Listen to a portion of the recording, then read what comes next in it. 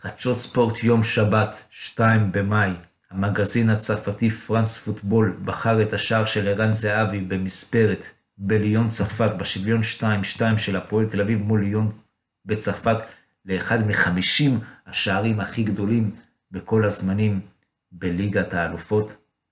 על ידי המגזין הצרפתי פרנס פוטבול נבחר השער הזה כאמור. המגזין הצרפתי פרנס פוטבול בחר לשוער העונה את שוער העבר של מכבי תל אביב, רייקוביץ', שוער קבוצת צרפתית. רמס הוא בחר אותו המגזין הצרפתי לשוער העונה של הליגה הצרפתית.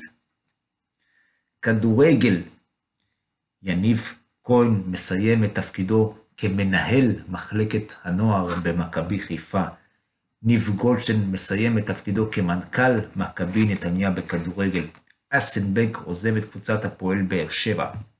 הפועל חיפה שבה אתמול ביום שישי להתאמן. קבוצות הסריה א' החליטו שהם מעוניינים, שהם, שהם מעוניינים להשלים את העונה בליגה הראשונה, בליגה הראשונה באיטליה. הם הצביעו על כך שהם מעוניינים לסיים את העונה בליגה הראשונה באיטליה, אבל הם לא קובעים בדבר הזה.